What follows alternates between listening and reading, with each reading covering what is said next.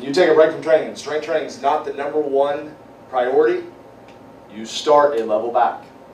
You start a level back. So if an advanced lifter, if an advanced lifter takes a break from training, and strength training is not the number one priority, when he restarts back up, he goes to being, he trains under the same guidelines of an intermediate.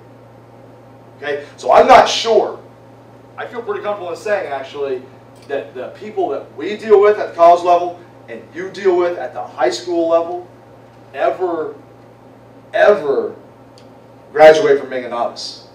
I, I mean, if you if you if you if you read these principles, they never do. So we need to understand who we're training, okay, and tailor the the exercise selection, the reps, the the progression, okay, to fit a novice. Because our guys might, our guys might enter into the intermediate category.